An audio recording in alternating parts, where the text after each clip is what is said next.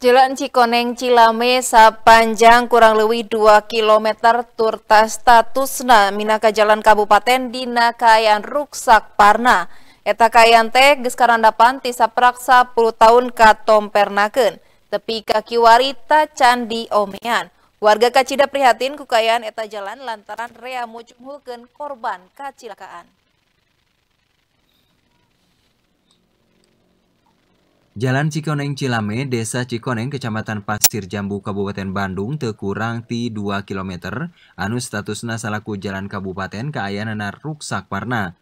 Ges leuwih ti 10 tahun tacan kene diomean ku pemerintah daerah Kabupaten Bandung. Eta jalan anu ruksak warna teh jadi leuwih ngebul upama usum halodo, turta jadi leur ku letak sarta cayan nalika usum ngiji. Kayaan sama dia kitu teh ngabalukarkeun rea kendaraan utama motor kitu deui mobil anu nandangan cilaka. Eta jalan Cikoneng Lame teh dina nas-nasna jadi jalur alternatif ke pariwisatawan anu ngajugjug ka jalur Ciwidey. Ya, saya sebagai warga RW 13 Kampung Megalasari, Desa Cikoneng, tepatnya di RT 1. Kebetulan ini jalan jalan Cilame Cikoneng yang menuju Desa Cikoneng. Kebetulan juga ini jalan merupakan jalan alternatif untuk wisata ataupun kembalinya dari berwisata. Kalau hari libur dan juga jalan di jalan provinsi macet pasti jalan sini.